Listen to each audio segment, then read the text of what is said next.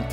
Uh, okay, so this is this is one we'll talk about briefly. Lucy in Disguise costume shop in South Congress to close by the end of the year. You know, it's one we should have talked about too. Is uh, what's the name of that place we like off Sixth Street?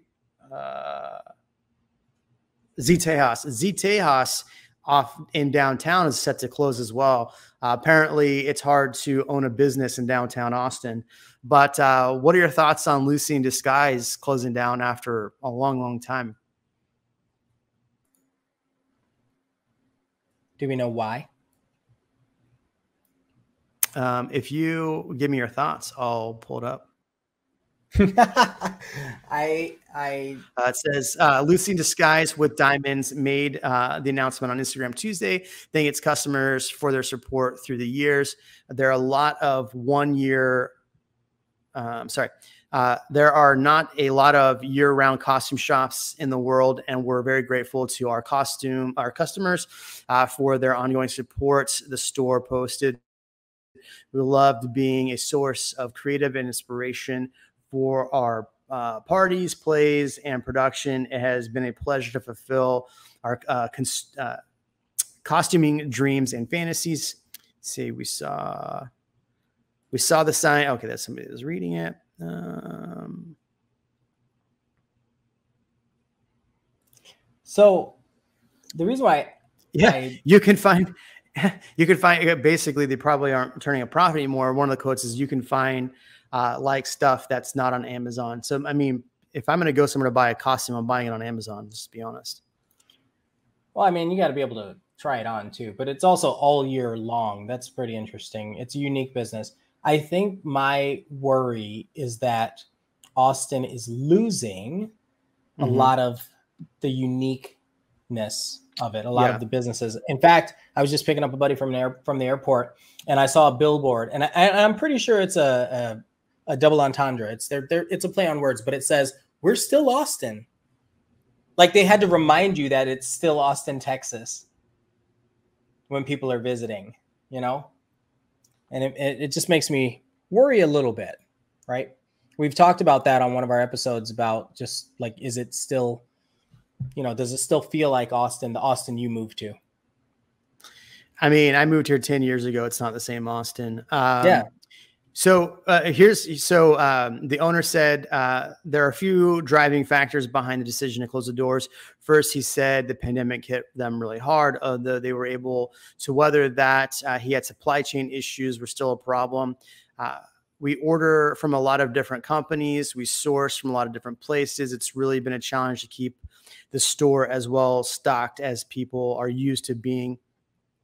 Um, so I mean, it sounds like a lot of it was the pandemic costs, uh, and and he owns the store, so it would make sense that he'd sell it. So it looks like he's going to sell it. Is what I mean. His I'm real estate here. taxes, right? Real estate taxes, yeah. Taxes.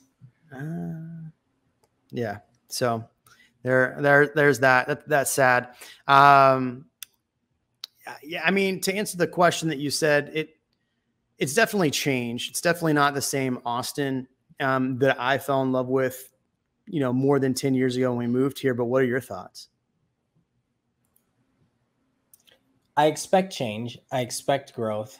Um, I'm not I'm not dissatisfied, but I there were there were a few things where as they were leaving, I, I felt it a little bit, right? Like especially I was I remember with the uh, with the the rainy street kind of getting destroyed. In my mind, it was like, why are they putting all this up? This was a really cool spot. And that's when I realized, you know what, it's going to change. Gonna have to move on to well, the next spot. What's What's interesting is a lot of those places that closed during the pandemic. I mean, look, we're getting a Hermes, right? or we got a Hermes. Oh no, we have it. it South yeah. Congress is is kind of ridiculous yeah. now. It's yeah, it's a it's a clown clown. But they used to now. have all the food trucks and stuff. Like that was that was yeah. the place to go. It was just the vibe. That was that, that and Rainy Street. Yeah, you're right. Rainy Street. I miss Rainy Street. I mean, I went down the other day and it's just like you look up and you're like, where am I? This is like downtown light. You're in a concrete jungle. Yeah. Where dreams are made of, right? Um, yeah, I mean it's interesting, uh, but you just so but think about some of the places that closed down during the pandemic. like if you didn't go to them and they were just a nostalgic place, then was the food really that good if it's not a place you went all the time? I feel like some of these places that closed down were just tourist traps, right? To say the least. And so some of these places that closed down, it's like, okay, yeah, that was a tourist trap. It, the food, like you went there just to hang out and enjoy the ambiance. You really didn't go there for the food, or maybe they had good drinks and you just went there for the drinks. So I feel like the, the pandemic kind of weeded out some of those places that unfortunately needed to go. I think one of those places that I, I might get ridiculed for this, but what's that place that puts the sign out? Um, that does the sign all the time. The El, uh, uh, yeah, El Arroyo. El, Have you tried Arroyo, their food? Yeah. I've never even had it, but I like all their stuff. That's a yeah. great. That's a great point. You know, yeah. I remember when I first visited uh, one of our friends that had taken us around to to look at everything in Austin before we decided to move, and it was almost instant after we had experienced it. Uh, I remember she she's I was asking for coffee. I was like, "Can we go to a Starbucks or something?" And she looked at me like she was going to stab me in the leg. She's like, "You're not going to go to Starbucks in Austin. There are way too many local coffee yeah. shops that we need to support. Yeah. Uh, but look at how many people go to Starbucks. Is all I'm saying. I, you know, I try not to like. That's why I go to like Cosmic or yeah, Cosmic's good. Cosmic's good. You know, um, there are some. I like Genuine Joe's. It's a great spot. A lot of them. Have you ever um, tried? Where's that place at? Uh, uh Cenote, Cino, Cenote, they love Cenote. Yeah, that's a good place. Halcyon. Okay, they have a few of those. Um, Summer Moon's become a pretty big chain, so like I like yeah. Summer Moon just because they have tacos in the morning, but it's okay. I, I like going to those places like that you can get the ambiance, decent coffee, Wi-Fi. What's that? Oh, radio. Radio is expanding. Did you see that? Radio uh Coffee in South Austin. Thunderbirds nice. is another one. Um, what's the one on the subs? Uh, no, I think isn't there one called Thunderbirds? What's the place on the east side with a really good Lazarus? There's a place Lazarus. on the east side, yes. Ian. You got to yes. go check it out.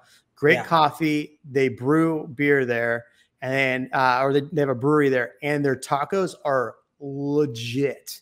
They're better than your Veracruz tacos. Fight me. Oh, stop it! No, let yeah. let let Your Veracruz horchata, Eileen jealous. Oh my gosh, man, all it's right. so good.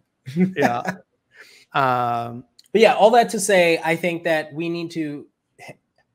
This isn't some kind of campaign or anything, but supporting the local businesses that you want to stay around is the only way they're going to stay around. So Re- remember, keep Austin beautiful.